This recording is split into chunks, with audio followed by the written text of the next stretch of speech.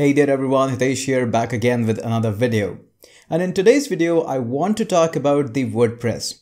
Now briefly, I'll be touching what is WordPress, but my major point of concern is when is actually the right time to get started with the WordPress. Now I see a lot of beginners directly getting started with the WordPress. So is it good or when is actually the right time to get started with the WordPress? All of this coming up in this video.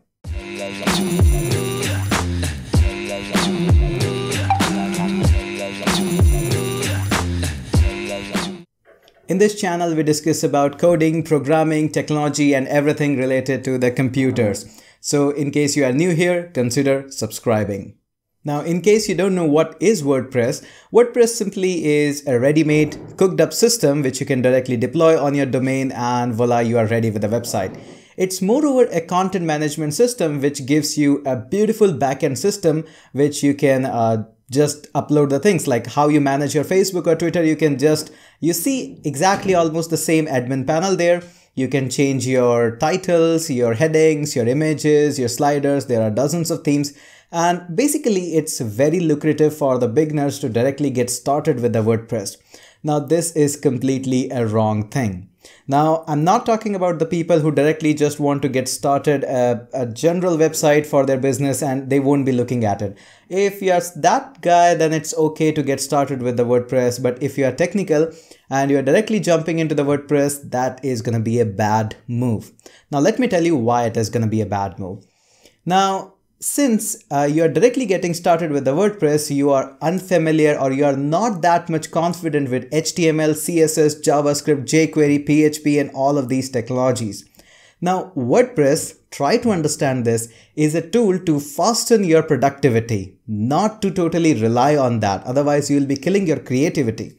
Now, once you have the basic understanding and knowledge about HTML and CSS and JavaScript, try, try to create a couple of projects in that now, once you have handled almost about 5 to 10 clients and that are purely into HTML, CSS and JavaScript, I'm not saying try to handle the clients which needs the entire WooCommerce or, or entirely e-commerce website, just the clients who needs a simple five-page websites or just try to create your own fictitious projects uh, to make sure you clean up your hand in HTML, CSS.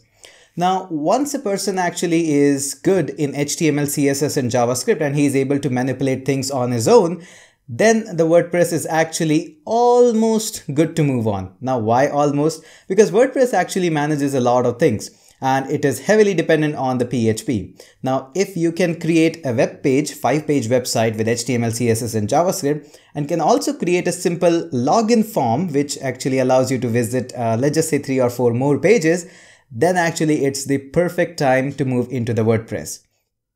Now, I use WordPress quite a lot because for me, I'm already familiar with these technologies. In fact, I'm quite a lot familiar with HTML, CSS, JavaScript, Angular, and all those technologies. I work with them almost every week. And but for most of my clients, I still use WordPress. Why? Because it saves me a lot of time. Now, many times the client actually requires to uh, and to give me or to produce an entire e-commerce web store, which uh, takes a lot of time if we if we develop that kind of store in simple Angular or maybe Node.js or other backend system. Now WordPress gives me a lot of plug and play things which I can configure and of course I can do a lot of editings and creativities and all those things since I know HTML and CSS. That is why I'm able to manipulate them. But for a beginner who is trying to directly jumping into the WordPress and thinking, hey, now it's going to be a comfortable life, uh, it's actually a bad move. So my tip for all the beginners who are very uh, lucrative about the WordPress, don't get started yet. You will eventually get started maybe in the later point of time or maybe you'll find some other CMS much more powerful and much more easy to get started. But if you're a beginner, don't touch the WordPress. That would be your creativity killer. Don't kill your creativity. Now, after once you moved into the project area, then it's okay to get move on. So this was a quick overview about my thoughts that is WordPress good for beginners or not. Uh, link down in the comment section below that what do you think about it?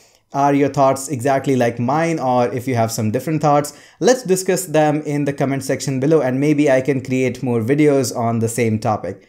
And if you think that this video was okay then uh, give it a thumbs up, subscribe if you are new here And if you think that somebody can enjoy this video much more, make sure you share it.